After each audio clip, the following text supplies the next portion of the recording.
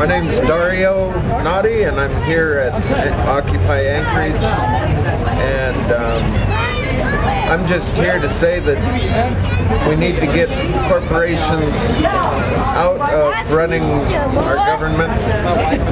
As much as their money runs political campaigns, we have um, all the heads of the government are run by corporate stooges We've got the uh, criminal. Uh, um, we, uh, well, we've got the military-industrial complex deciding how much of what we buy for our military.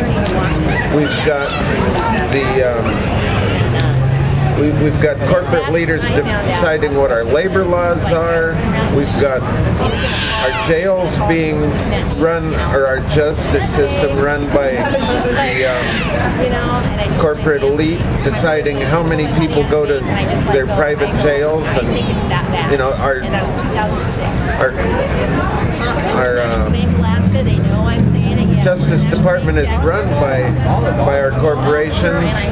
The agriculture is run by the giant um, agricultural corporations. Uh, our forests are run by the paper and uh, lumber companies, and uh, it's time to get them out of it. Thank you.